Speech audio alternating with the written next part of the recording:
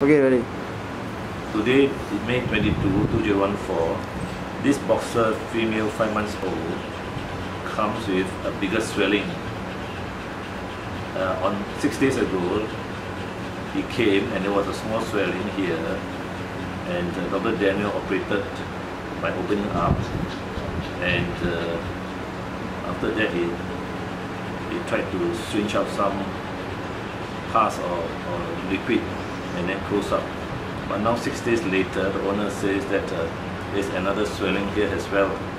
There's another swelling here at the site, in addition to the original swelling, which which was here, uh, has become very much bigger, very much bigger. So what what is the problem with this? Why is this swelling is soft? It's soft, and uh, is it an abscess or is it infected hematoma? So we have to solve the problem for this dog. Otherwise, they can't go on with this uh, big swelling. As you can see, this big swelling is not uh, normal for, for the dog. So afterwards, I will have to open up again and uh, clear all the, probably all the debris and uh, probably the pus as well. And uh, make sure that it doesn't come back again the third, time. So I would say that this could be a infected, infected hematoma most likely. Only when we open up and drain it, it's very soft.